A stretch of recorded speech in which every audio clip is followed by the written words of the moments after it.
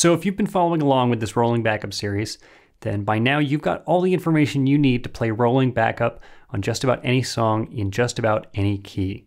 It's just up to whether or not you're interested in learning the material and using it.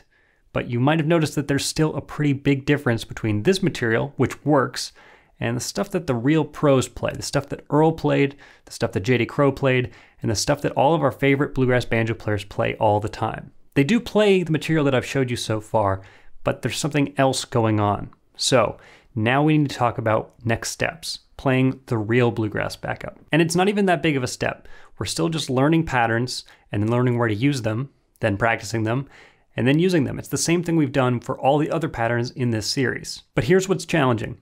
The patterns that we're going to look at today, and from now on, for the most part, are going to apply to one chord at a time. The patterns I show you today are not going to apply to a bunch of different chords, just one chord. And then we'll look at patterns that do apply to those other chords, but they're going to be somewhat separate, different patterns for different chords. That makes it more complex, but it also makes it more interesting. So even though things are about to get more difficult, your playing is about to get a lot better. So it's worth it. So then let's do that. Let's look at some essential rolling backup licks for the chord G. But first, let me just tell you that if you want the tablature for this lesson and all of my lessons, then you can go to patreon.com slash Eli Gilbert Banjo. That's where I post everything that you can't find here on YouTube. And that means tablature and bonus practice tips, all kinds of extra cool stuff. And it's also what helps me keep making more of these videos, so I really appreciate it. Also, if you don't mind, do me a favor and subscribe to this channel and like this video. That's another great way to help me make more of these videos. Anyway, let's take a look at some of these licks.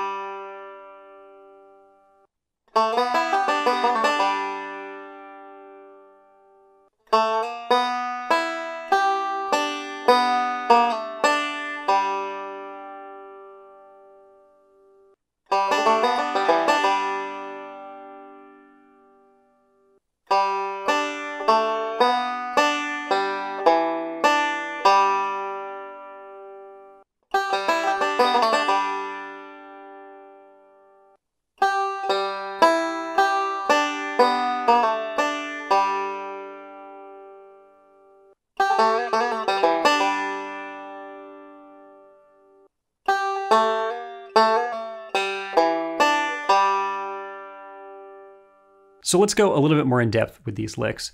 One of the things you might have noticed is that most of them include either a slide or a hammer-on from the second fret to the third fret. That's really common.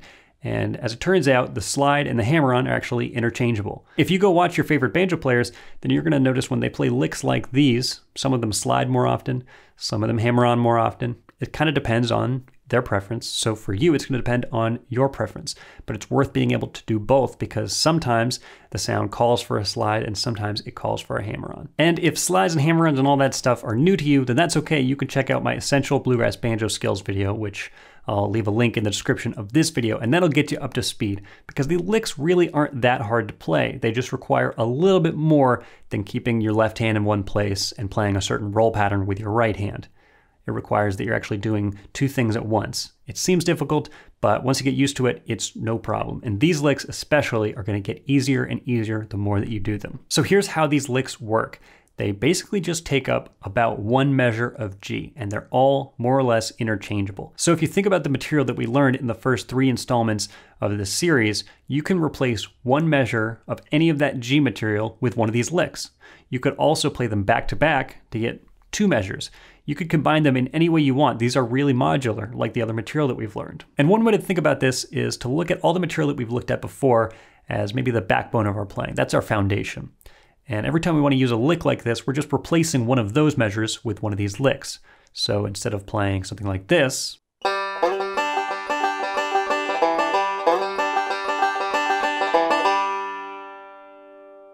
you'll play something like this.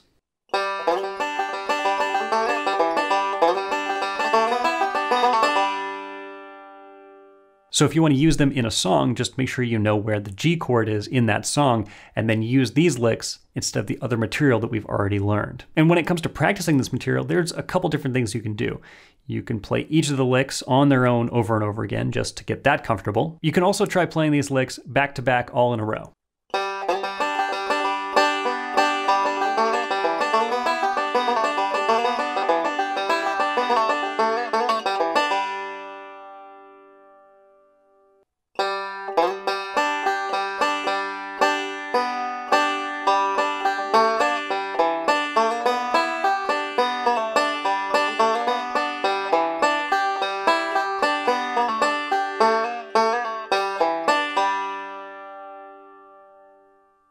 And you don't need to play them only in that order. In fact, you probably should play them in a bunch of different orders just to get more flexibility with these licks. But once that's comfortable, once you can actually play this material, probably the most important thing that you're going to want to do is actually use them in songs. And the process that we're going to use here is not going to be any different than what we've done in the last three lessons.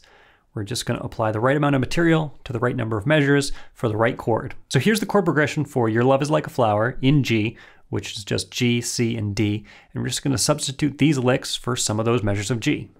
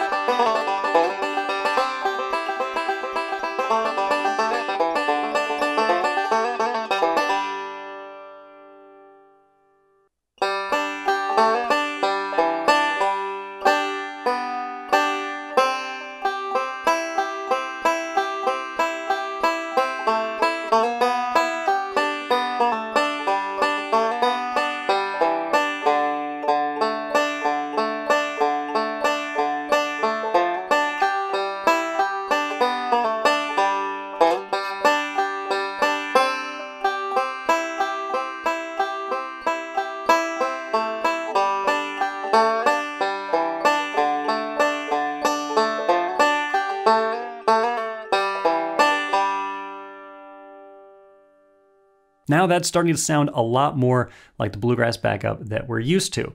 Obviously, the C and the D is still using material from the previous lessons, but we're going to get there in the next couple lessons, don't worry. The path forward from here is just doing this process with other songs that you know and putting in these licks where they fit. And they will fit in most places. It's just really common stuff that people play. You might have to adjust a note here or there just to make it possible to start and end on the right note, but that's okay. That's part of the process as well. And don't worry, you don't have to learn all of these licks right now. You might just want to start with one of them. You might just want to start with two of them. It's really up to what you're ready for. If you've been playing for a while, then these licks might not be that difficult. If this is really early on for you, then yeah, you might want to start with just one. That's not a big deal. Just make sure that whatever you do work on, you really learn and you look at it thoroughly and meticulously, just so you play exactly what you mean to. And if you do that, then at a certain point, you'll be ready to come back and learn more of these licks. They'll always be here waiting, so there's no rush. Okay, so now we can do basically the same process with 3-4. The licks are going to be a little different, obviously, but we can apply them in the same way. So here are the licks that we're going to look at for playing over the chord G in 3-4.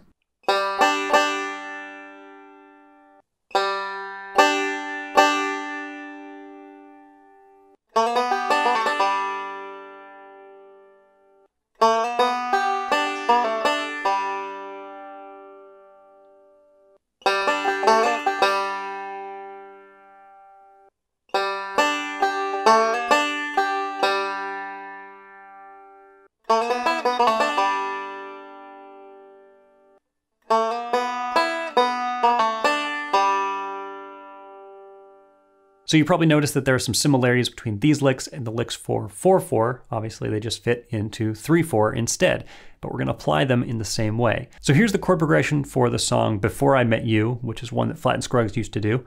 And we're just going to apply some of these licks when there's a G chord.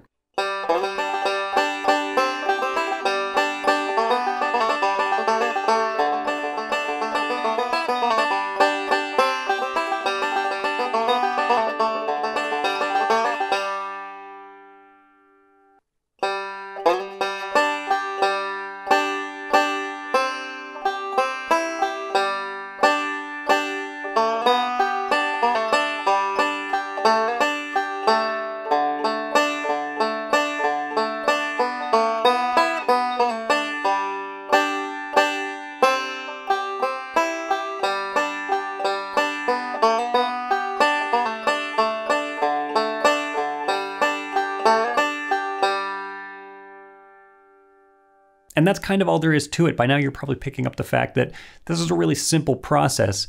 It's just kind of difficult to do because we know exactly what we're supposed to do, but then we have to actually practice it enough so that we can do it. So, just like in 4 4, take these 3 4 examples and learn them and apply them and then put them in different combinations. You're going to find that you like some of them. You're going to find that some of them aren't as much fun. Some of them you like but are more difficult, so it's worth working on them. Some of them are easier, but you might not like them as much, so maybe you don't need to bother playing them. It's all up to you. It's just up to whether or not you're actually going to put in the time. Anyway, I hope you enjoyed all of these licks and I hope you get a lot of good use out of them.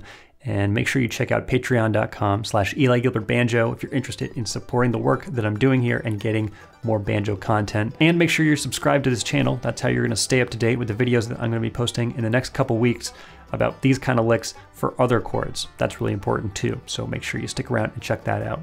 Anyway, that's all for me today. Thanks for watching. I'll see you next time.